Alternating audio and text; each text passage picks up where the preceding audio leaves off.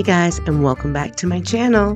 If you're new here, my name is Shawn-Marie, and I love to share all things homemaking with you, and that includes recipes that have bold and unexpected flavor profiles while being easy on the wallet. The dish I'm going to share with you today is a family favorite and one so full of unexpected flavor, even the pickiest of eaters won't be able to resist it. I'll be sharing these must try recipes on my channel in a cooking series I'm calling I Can Totally Make That. Because if I can totally make that, so can't you. And we're kicking that off today with a savory dinner option. This is a perfect meal for a snowy winter's day. Trust me, you're going to want to see this. Before we get started, I'd appreciate it if you give this video a like and a share, and if you haven't already, I'd love for you to subscribe to my channel and become part of our little homestead. Every view, like, comment, and subscription brings me so much pleasure and makes the daunting task of filming and editing worth it. Make sure you have that notification bell turned on so you'll know when I upload a new video and you can join the party too. Alright guys, let's jump right into today's ambrosial video, shall we?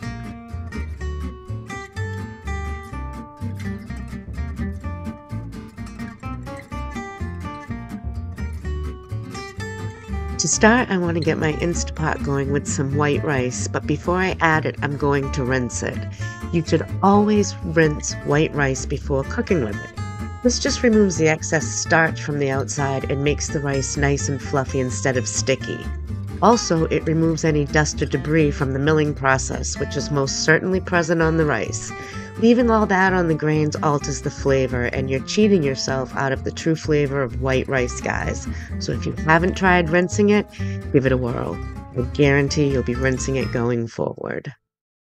Now I'm going to add two cups of my homemade chicken stock and the Hippy Pilgrim garlic salt. And you guys, if you haven't checked them out before, I'll leave the link below in the description. Susanna's garlic salt and spices are out of this world and something you definitely need to check out. Seriously, she has so many options to choose from, and you can't go wrong with anything you pick. Now that this is ready to go, I am going to lock the lid in place and be sure my valve is on seal. Then we'll turn the Instapot on to pressure cook. Set the timer for three minutes on high. Once the three minutes are up, we're just going to let it naturally depressurize for 10 minutes. Then we'll open up the valve to release any residual pressure and remove the cover to give a stir. You don't have to use an Instapot to make your rice if you don't have one. I just honestly find this to be the easiest, most foolproof way to make rice. It comes out perfectly every time. What's your go to way of making rice? Do you use an Instapot, a steamer, or a good old saucepan on the stove? Leave a comment below and let me know. I'm using boneless pork chops for this recipe, but you can use whatever you want. Uh, while my pan is heating up with a little bit of oil in it, I'm going to season them on both sides with more of the Hippy Pilgrim Thanksgiving garlic salt, and I'm going to rub it in so that the flavor really holds on to that meat. Now that my skillet is hot and the chops are seasoned, I'm going to sear them in the pan for about 5 to 8 minutes on each side or until cooked the way you like them. This time depends on the thickness of your chops.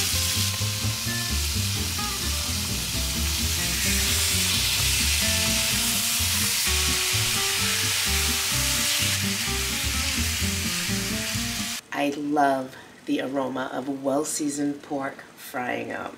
Heck, I love the aroma of well-seasoned meat frying up, period. But especially with the Hippy Pilgrim Thanksgiving blend on there, the aroma of the savory spices include notes of thyme, rosemary, sage, garlic, all of the yummy, scrumptious smells that are happening in my kitchen right now and driving me crazy. But not to fear, this dish doesn't take long to put together whatsoever. Our rice is done and we are just going to let our pork chops finish up. We're more than three quarters of the way done with this meal and almost ready to eat. Are you hungry? Because I know I am.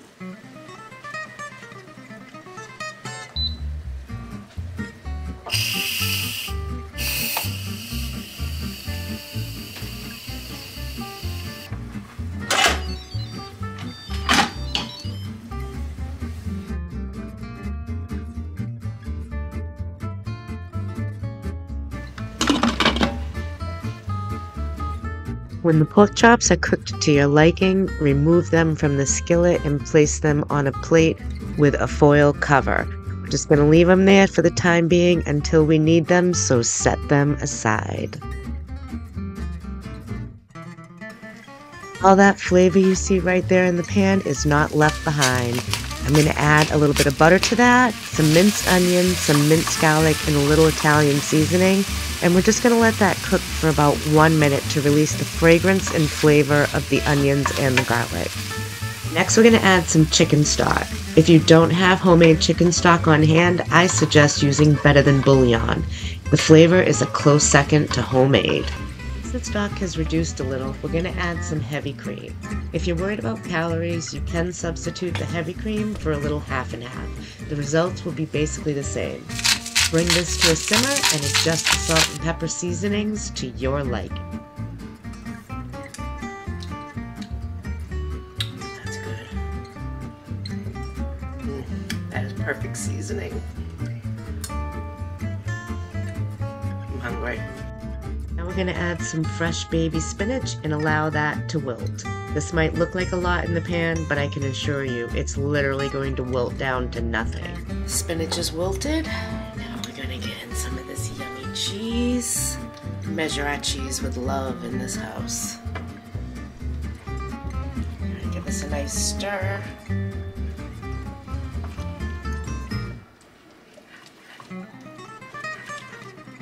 The cheese really thickens the sauce up nicely.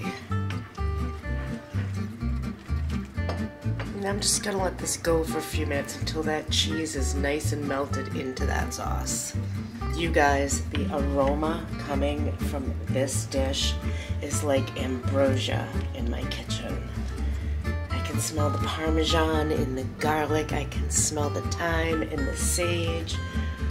It is so good. You're gonna love this dish. This is a great way to get the kids to eat their spinach because it tastes so good in this dish they won't even know they're eating spinach. I'm gonna add my pork chop drippings back. It's all flavor, we don't want to get rid of that. A nice mix. Now we're gonna put our chops back in and give them a nice turn to coat them in that sauce.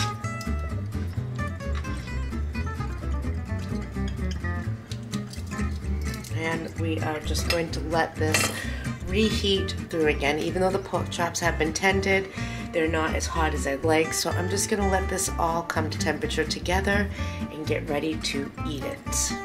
Now, because this dish is so rich and savory, we like to enjoy it with just a very simple little side salad and a homemade vinaigrette. And making a homemade vinaigrette is a lot easier than you think it is. You don't need any fancy equipment. I use a mason jar. In my mason jar, I'm just going to add a little red wine vinegar, some good Dijon, and some salt and pepper. Give that all a good shimmy shake I'm going to use my immersion blender to blend this all together. And what I'm doing is slowly drizzling in the olive oil while I'm blending. And you definitely want to do this slowly so that they will all emulsify together. They'll bind and you will get the dressing you're looking for. If you dump it all in and then do it, it won't work. You have to add it slowly. If you like a Dijon infused vinaigrette, this is for you. This meal can be assembled in 30 minutes or less from start to finish, and I call that a mom win for those busy weeknights when you don't have time to put something together, but you don't want to sacrifice flavor. This is the perfect meal for you. Just look at this. I am so hungry, it's ridiculous.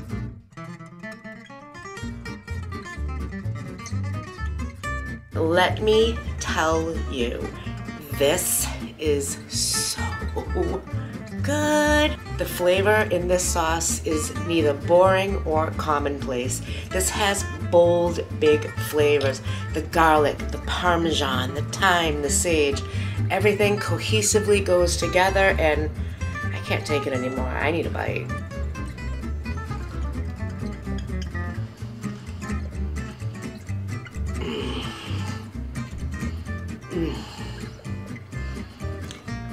That is so savory, so creamy.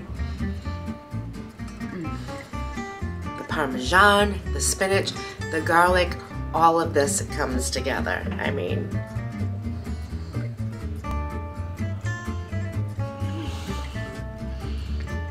if I am dreaming, don't wake me up. This dish is amazing, you guys. You really need to try this. This is not only a great dish for your family, this is also an impressive dish to serve your guests for a couple reasons. One, it's super impressive and filled with flavor. They will think you slaved in the kitchen all day long. And two, you know you didn't. Took you right around a half an hour to put this whole dinner together. That gives you more time with your guests and less time in the kitchen. This is so good. This is a dish you didn't know you need in your life, but trust me, you do. Well, thanks so much for spending time with me again this evening, guys. On, on a playlist I am calling I Can Totally Make That. Because if I can totally make it, so can you. I do hope you will give this dish a try for yourself. I promise you, you will not be disappointed. You won't. So full of flavor, so savory, so delicious.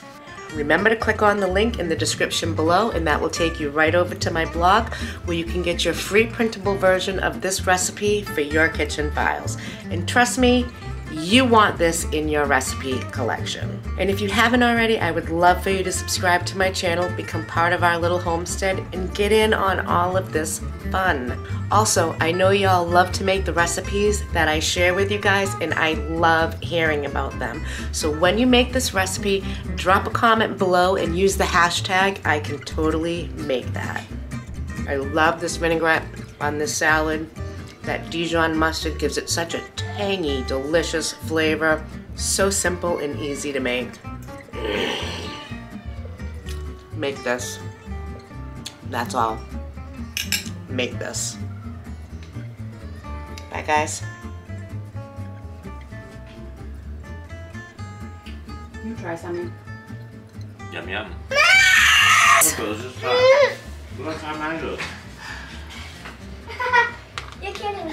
This is how you do it. No, I can't do that. Do you want to see this? Mmm, is that good? Can you hold this for long. No, I.